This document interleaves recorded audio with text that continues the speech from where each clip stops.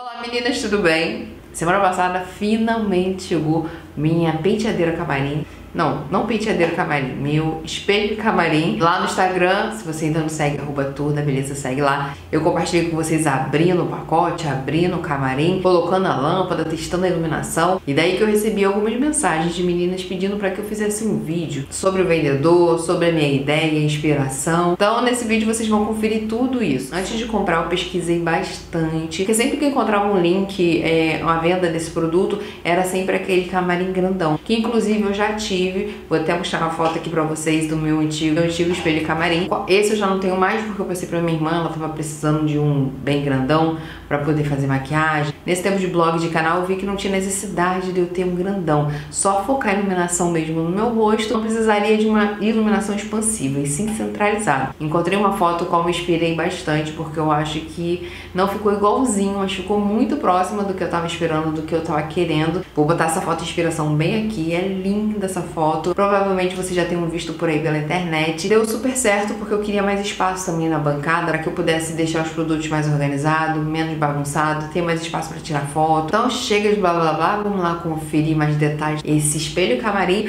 Espero que vocês gostem. Não se esqueça de deixar seu like aqui no vídeo. Esse é o cantinho onde eu faço maquiagem, onde eu passo boa parte do tempo gravando, me maquiando. Dei uma arrumadinha para não ficar tão feio para vocês, né, para não passar tanta vergonha, mas a maior parte do tempo, gente, fica tudo bagunçado, um alvoroço danado. Vou começar mostrando o que interessa, que é o espelho camarim. A outra era mais larga, era um pouquinho mais ampla.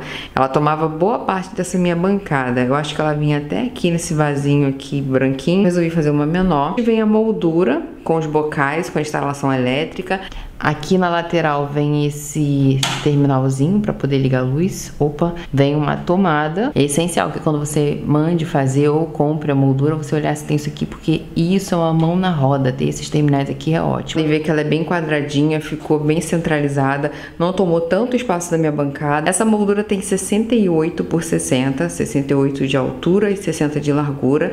E o espelho tem 48 por 40, é menor por causa do vão. Para essa medida deu para nove bocais, nove lâmpadas. Aqui, na verdade, eu ia colocar tudo branquinho, mas eu não sei se vocês estão vendo na filmagem, tá com três amarelas. Uma aqui, uma aqui e uma em cima. Eu peguei todas as lâmpadas do mercado e aí eu complementei com as amarelas que eu tinha guardado aqui. Eu particularmente gosto de tudo branco e depois ajustar na câmera, mas dependendo de como fique aqui, eu vou mantê-las dessa forma. Acompanhe esses dois ganchinhos para colocar bem aqui em cima, ó, tem dois ganchinhos, o qual você prende na parede que não aconteça isso, ó.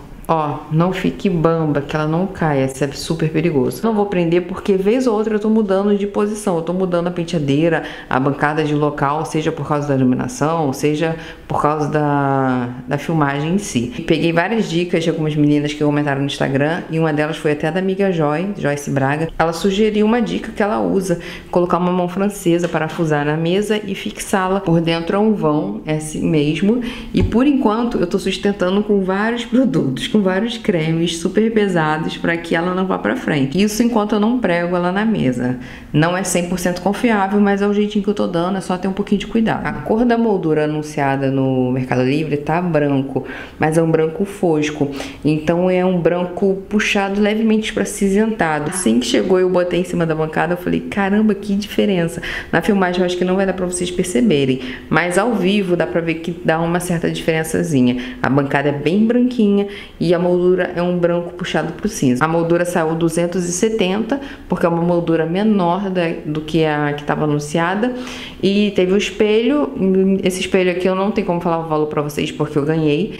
E as lâmpadas está na faixa de 15 a 19,90 cada uma. A penteadeira basicamente se resume em um espelho camarim separado e uma bancada tipo escrivaninha, bem espaçosa, ela é bem resistente. Ela, eu comprei ela na Magazine Luiza, ela tem um espaço bem bacana. Eu não coloquei vidro em cima porque ele dá reflexo quando eu vou tirar foto para fazer resenha de algum produto, então eu preferi deixar assim fosco e manter uma limpeza sempre, né? Essa bancada vem com três gavetas. A pessoa começou do final pro início, né? Agora que eu vou mostrar a bancada pra vocês. Guardo os pincéis nesses potinhos aqui. Aqui ainda tá mesclado com rosinha, uva, lilás e branco, mas eu tô tentando deixar todos os potinhos brancos, tá difícil de encontrar. Toda vez que eu vou só tem um ou dois, e aí depois eu vou deixar tudo branco. Então deixo esses três aqui.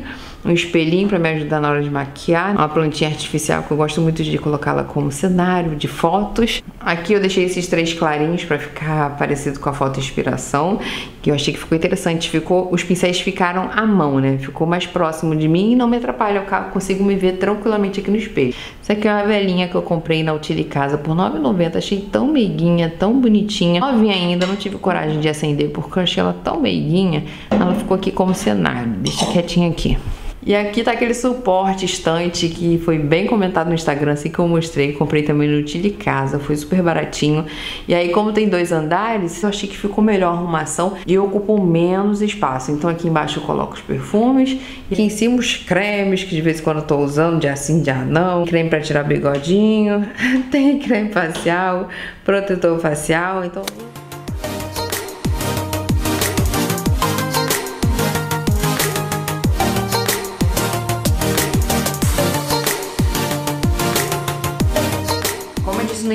o link do vendedor vai estar aqui embaixo. O vendedor é daqui do Rio de Janeiro, a entrega foi super rápida. Se você tiver qualquer dúvida, é bom você esclarecer tudo antes, perguntar tudo ao vendedor, assim como eu fiz. paguei 270 reais nessa medida, nesse tamanho. Ele faz no tamanho que você preferir. O anúncio dele tá num tamanho bem maior e o valor tá 290 reais, se não me engano. Mas então foi isso. Espero que vocês tenham gostado do vídeo. Eu tenho esclarecido todos os detalhes para vocês sobre o novo camarim aqui do cantinho. Assim que eu ajeitar o cantinho do jeito que eu quero. Eu trago pra vocês um tour aqui bem decente, bem direitinho, bem arrumadinho. Então foi isso, espero que vocês tenham gostado.